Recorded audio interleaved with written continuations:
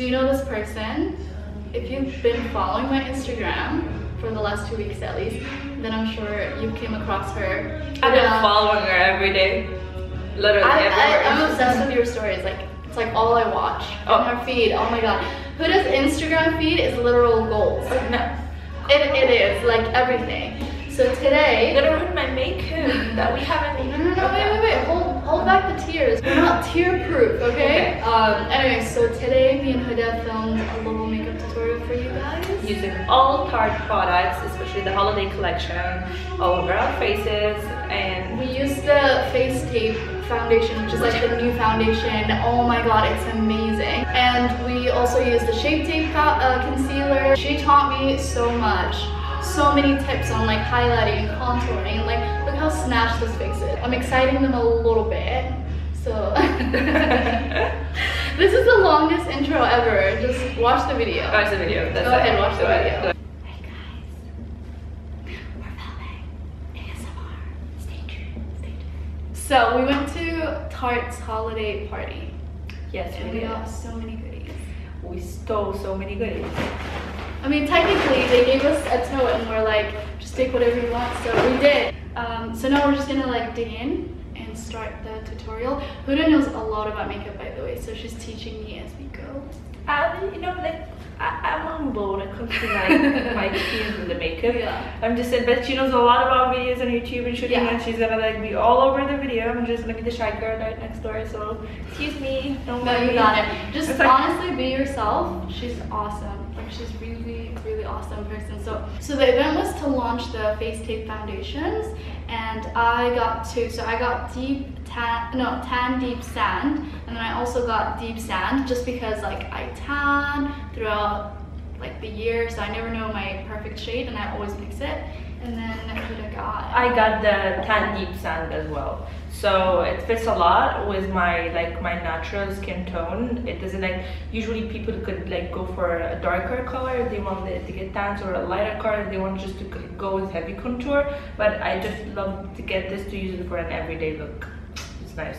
And then we also got the concealers. You guys know about the Shape Tape, which inspired the foundation. I use Deep to basically um, conceal any spots, and then I use Tan Deep Honey to um, highlight. I got the medium and the medium tan sand.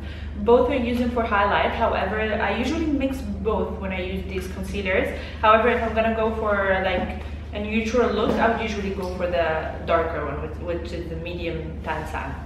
We're gonna prime with base tape, primer. By the way, we're using the viewfinder to apply this, but it, the camera is like very far away. I'm sorry if the audio is not that great. I tried to buy a microphone and it wouldn't, um, it was incompatible. So I have to go get. No, you can go the other way around. Say donate so we can get a Oh yes, what was Like the GoFundMe? GoFund- Link below. We put it down there. It's So like support us. Support us. I usually do mix it between like a foundation brush and a beauty blender. Okay, for me, I, I think it depends on how you want the outcome of the look to, to be. For example, that using a brush means usually that you want the full coverage for your look with the foundation, and having to use the uh, the beauty blender for after the applying the foundation means that you want to get the excess of the product over your face, so it gets less coverage right uh, through it, which is something I like by the way. It gives you more like natural look. So it's basically we take the brush as well, the one like you. I mine is like bigger because I would love to like put little and at one time. Mine Okay. will be yours will means that you will put several. I'll use at a- more, more of the product. So the bigger it is, which means the less product you need to use. Ah, Interesting. Interesting. I I like to use the small one just because like my face is tiny and it like It's so cute. get like all over my face. Um, so I'm gonna mix both shades. Put mine on the brush and then start. So I'd like to put the foundation from in to out. So it gives you the blending effect. There most of the time we, we will be looking like down so we have the mirrors here because it's not that visible with the camera to get. Also, I've been breaking out a lot, you guys. I don't know why. So, a very recent trick that I learned about foundation when you put it with a brush is that you do, like I can see a lot of makeup artists just usually do this, you know, that kind of movement as if you're painting, which is something I don't get because our texture is not smooth, like your skin is not all silky. So it's about pressing the product right there into your skin to settle more than just brushing it. And so also, like, if I have this foundation, I literally do this, yes, like stippling. stippling, exactly. Okay. Damn, I think I used a lot. Because you had this, the small brush, yeah.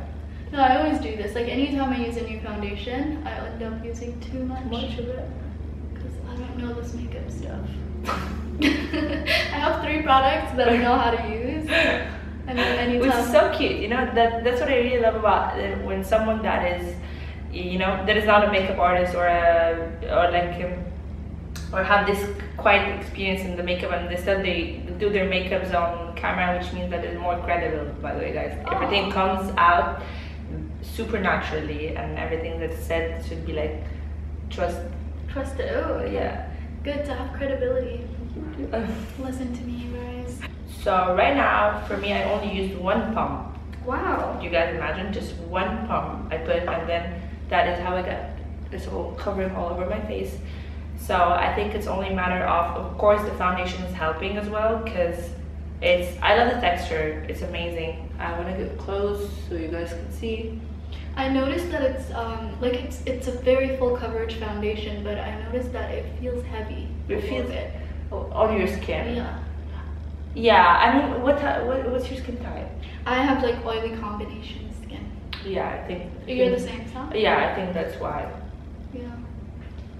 But I use I, that's why because I have an oily combination skin. I use uh, less products than what I'm supposed to do. Because the more products I use with my oily skin, it, the more it's just like it's cakey, you know. Ah, that's smart. For me, because like I noticed that it slides off if I don't have enough makeup. Like the more I feel like for me, the more makeup I put, Mm. the more it stays. Wow. See, guys, that's how I see that makeup difference. Really, makeup is all about a personal like Yeah. experience with it. You just need to experiment with makeup in order for you to get. I mean, yes, you watch videos, you see reviews, but then.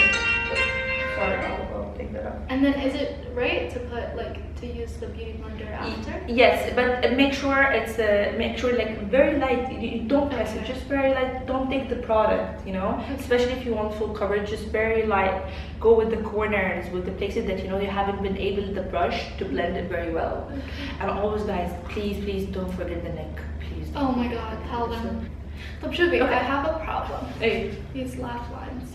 What do you do with them? What the laugh lines that you need to immediately bake right away. Anything that you know that it wrinkles right away, you just set it with the powder. Don't just leave it and start putting concealer and everything else and just like go back and then you find the find the back. You laugh, you smile, and you do a lot of stuff. I mean, most oh sorry, most professional makeup artists that I work with, they always they, want me to be have this poker face while putting setting my makeup on. Like we don't have this like social conversation. We're like, oh, I had ice cream for tonight. It's like, shut up. I won't put makeup on your face. That's it. So yeah. So it basically, like the point of doing a tutorial and speaking the same way, it's not the best thing ever. So, but right now, for that, that's what I'm saying. Just put Just the set powder. Yeah, set it. So that is the type of beauty blenders I love to set a powder with. And then press on the line that we want. Okay, that would look crazy, but it works like magic. Try, try. And try. then you just leave it as you do your makeup. Yes, as you do your makeup, and then work with everything else. Okay, I like that. So to conceal, I use my beauty blender. Uh, well, I'd love to say that you start with the brush itself Uh huh. to up for application. Okay. Okay, it depends on how the, as well, guys. It depends on the coverage that you want. So mostly, let's say I'll. I have this brush. yes, exactly. It's good. Yay! I am doing one thing right. She's doing everything right. She's smart. Well, she's smart. So uh, we have the medium one. I'll, I'll use one right there. Let's see. Let's see. Okay, so this is the one that matches your skin. Yes, that's the one that matches my skin. Okay. Okay. Is this one. It's not that one. The medium tan sand, sorry. Okay. 100%. Now the medium tan sand. New when you open a new So- concealer. Don't put it right after your right under your eyes. That is the biggest mistake. Not right after, just there.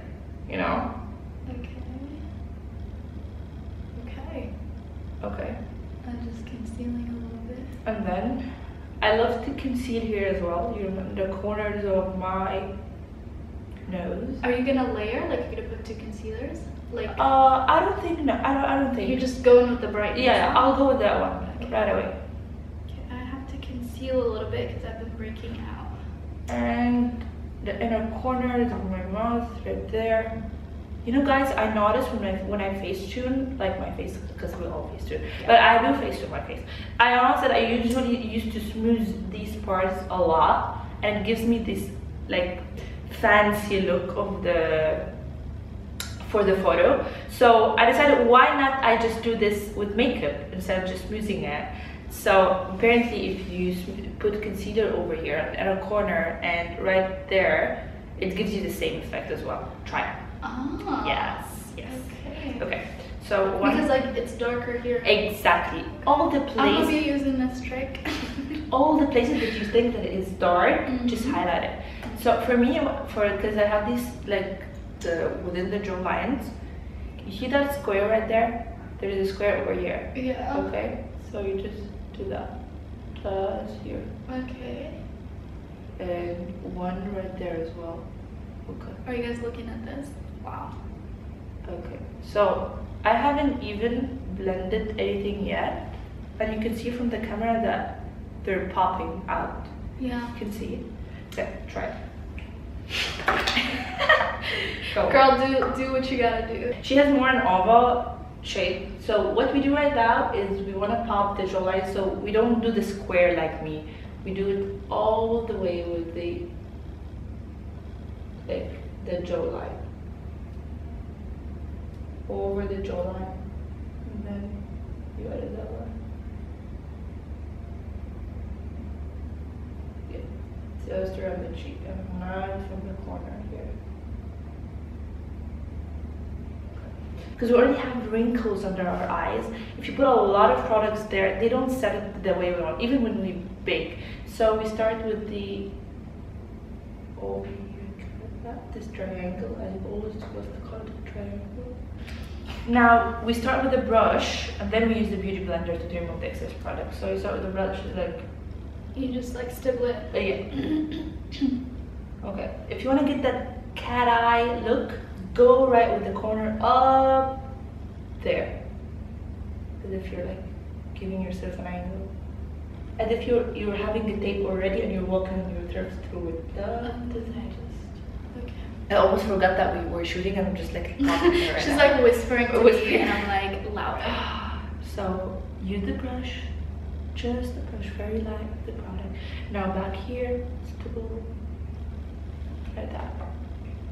You need to get closer. And then here as well, right in the corner. Go up to the lips. Right there. Okay. So much easier to blend with a brush. So much easier. I love when I do like I go for a shoot and I see that the makeup artist is using a brush more than the beauty blender because it's it just gives everything the right uh, texture, you know. Don't go all the way here. No, don't do that. So just up there. So you're just like buffing it out Yeah. with.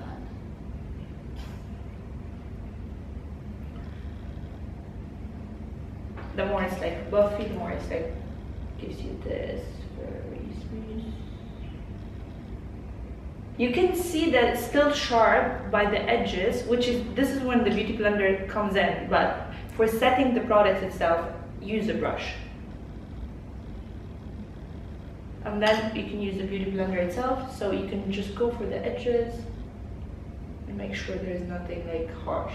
But definitely with this concealer, you have to work quickly. quickly it dries so fast so you have to like move around or you can start with like with the eyes you you tap uh, the concealer and then you move to the cheeks and then Yeah, move around like slowly. yeah it gives me can you see the line that have been up there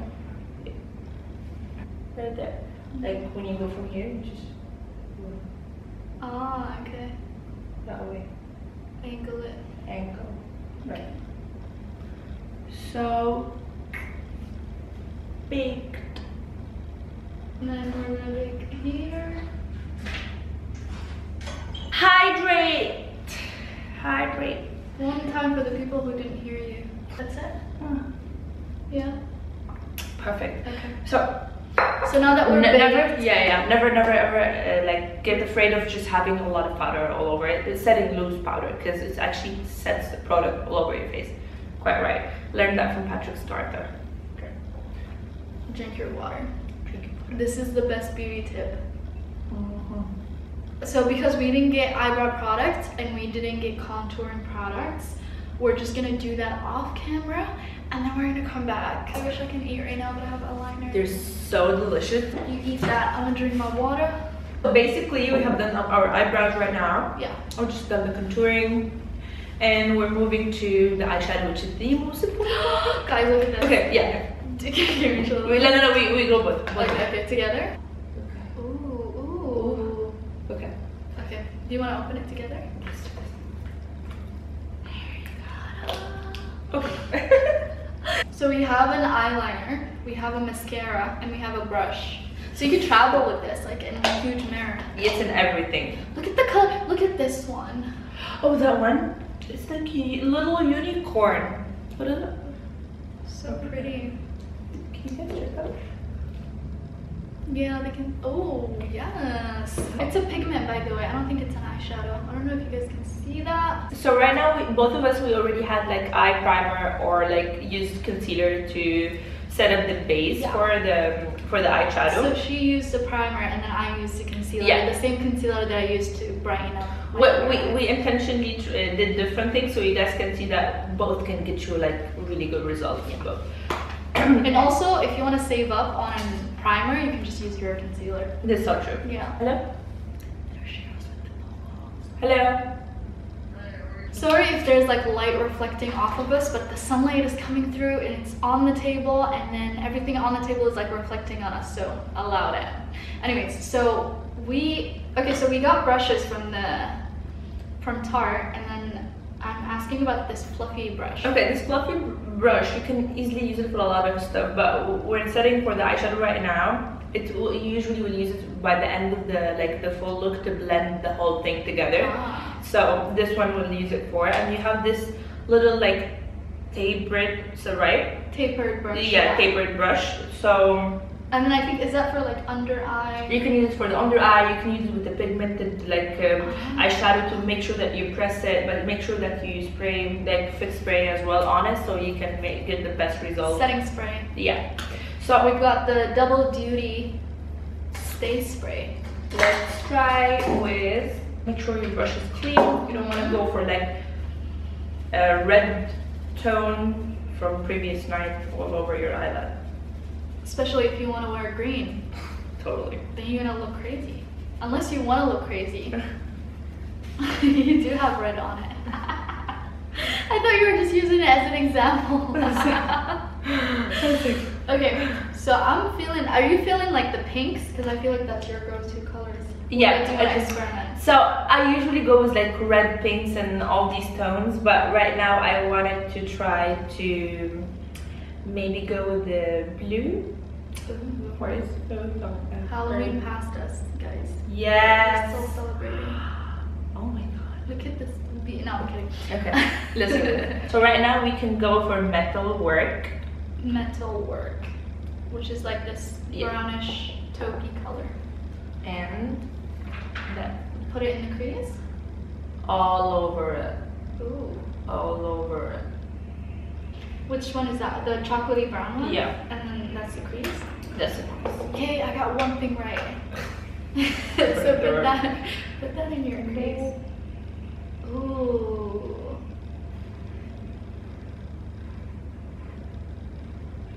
Ooh, this color is yummy.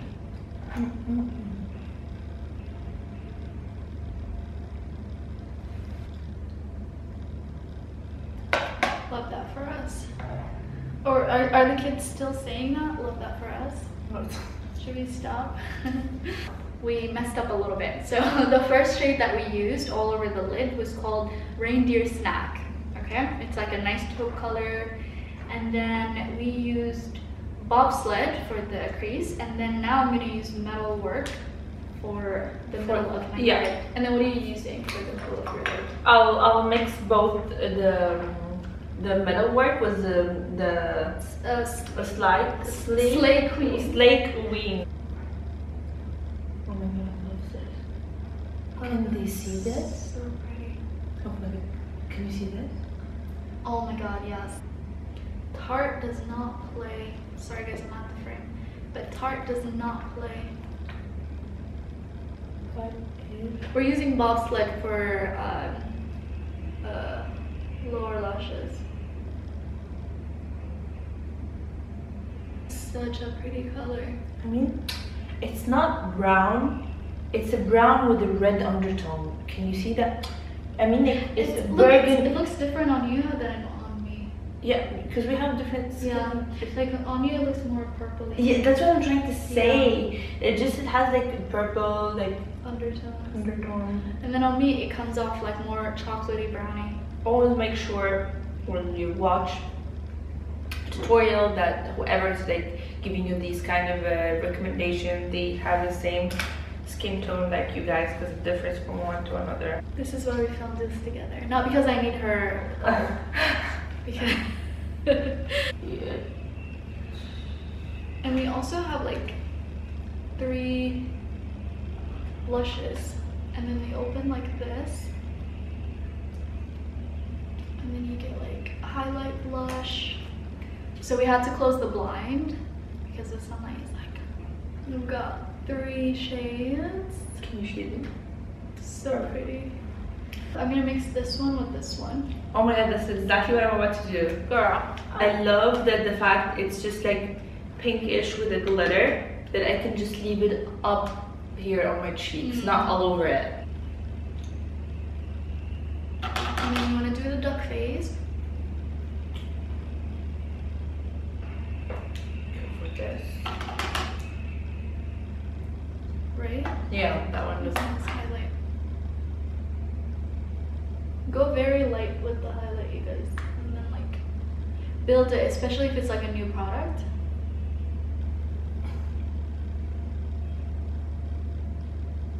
So I got this trick where I can see everyone when they put highlighter on their nose, they just go with the line like that. Okay. Mhm. I don't. I don't. No, I don't like it, and I and I have a point to prove when it comes to this. So Okay. Highlight. Let me, let me put my brush down. There we go. So highlight is meant to highlight like centered like um, features on your face. You don't want someone to look at your nose straight like that. But instead, if you only highlight just the top here and the tip of your nose, you leave that one in the middle. So it gives this slobby effect of the nose, you know? It always works, I swear. And I always get the, um this like, oh, you got a nose job. Oh, no, no, no. I highlight my tip a lot, a lot, and then the back and contour the middle. That's it. So it's just sloppy. Try it. I'm gonna start doing that. Yeah, I'm gonna go with lights, camera, lashes. I think the big ego is too crazy for me. I'll go for the big ego one because, you know, Because you've got a big ego. yeah. And I think, Which is not a bad thing. by the way, It's okay, a really good thing. I think I'll go for both, but I'll use the big ego one for my top lashes. And then I'll go for the light camera lashes for my lower lashes, and which is something I I usually recommend that you use like a lighter mascara for your lower lashes so they don't look, you know, heavy and they have like a lot of um, True. what I say product on them. Very true. So we can try that. And it'll also cast a shadow under your, uh, like under your Yes, under eyes, and yes. it'll make you look like you're you're tired when you spent all that time highlighting. And you, you just want to like you know clean it, then you have to cl- wipe the concealer and all the base that you have built, so it's just Mhm. annoying. Very much so. When I apply mascara, I love to start from the top, very slow. Can you see? I'm just curling. I haven't even put anything else. Just curling, curling, curling, and then left. That's it. That's how I do it. So on the top, top, top, top, top, and then I go from down. Okay. I try as much as I can not to use the front of the mascara because it always has a lot of products. So True. You can also like wipe it off with like tissue. I barely did anything, just like topped off the, the extensions a little I bit. use a smaller one for the lower lashes. I'm feeling myself, you guys. I don't know about you, but like, I'm feeling I'm like, yes, bitch. So we're done with the look. This is how we're. I'm obsessed. We have been like spending like how hours in the mirror looking at stuff right now. It's so cute, right? We're. Close your eyes, show them your eyes. Okay, look Yes, this. queen. And by the way, our little trick for all this glow is that we took, so we took the lip ornament lip gloss and we put it All over it, everywhere, literally, Everywhere. like on over the eyelids. We put it on the highlights over here, of course, on the cheeks, and it's just like, look at the glow. And that was like Huda's little tip, like just like, put it everywhere. It's so good. This is the look. I hope you guys enjoyed our little video. don't forget to subscribe Yes, to them, channel. tell them. And please, if you need more, like more inquiries about anything, the products that we use and everything that's not clear, just put it in the comments right there. Like and share and support. Make sure to follow Huda. She is amazing on Instagram and soon she's starting a YouTube channel. Okay, after she teaches me all of her her tricks. starting a YouTube channel. I'm gonna teach you all my tech knowledge and your channel is gonna be popping.